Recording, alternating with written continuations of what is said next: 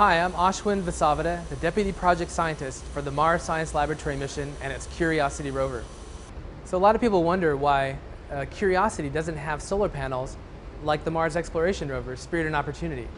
The Mars Exploration rovers often found themselves short on power as dust settled on their solar panels. This was especially a problem in the short days of winter. We need a good, strong, and reliable source of power to keep Curiosity going for over two years on Mars.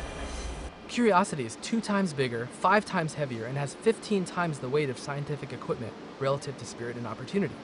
Like those rovers, Curiosity surveys the landscape and examines rocks up close. Curiosity's scientific mission involves driving around its landing site, perhaps up to 15 or 20 miles, collecting samples of rocks and soils with a big jackhammer drill located on the end of a six-foot robotic arm. Those samples are delivered to the rover and analyzed with some very sophisticated and power-hungry analytical laboratory instruments.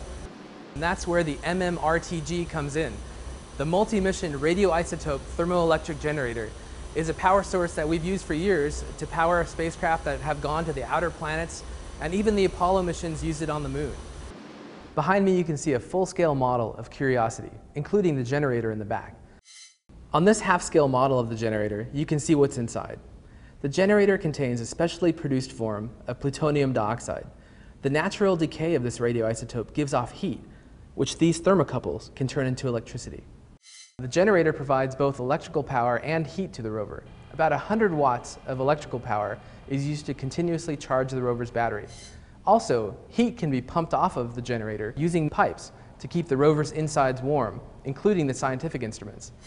With Curiosity's generator, there's a guaranteed way of charging the battery year-round in all sorts of conditions. Curiosity's generator was developed by the Department of Energy and will be installed on the rover just a few days before launch. But to make sure everything works together properly, the engineers installed the actual generator on the rover for the first time.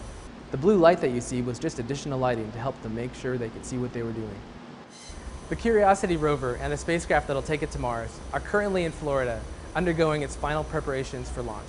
Everything's going well, and all of us on the science team can't wait for its launch later this year and its arrival to Mars next summer.